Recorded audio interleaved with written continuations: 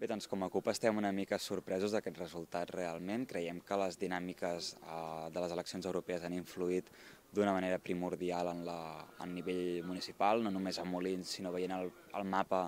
electoral de tota, tot Catalunya, doncs es veu que hi ha hagut una gran influència de la Unió Europea, de les eleccions per la Unió Europea en les, els resultats municipals.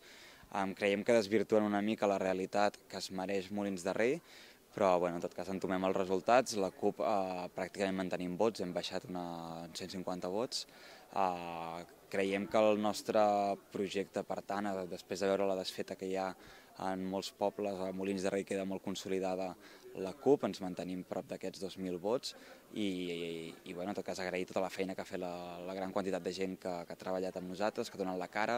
les més de 60 apoderades que estaven a, desplegades per tots els col·legis. Creiem que hem fet, hem fet una de les millors campanyes que hem fet fins ara a la CUP, una campanya que ha demostrat que el nostre projecte és netament uh, horitzontal i plantegem un model de país i de Molins de Rei molt diferenciat dels altres partits que, que estan sobre la taula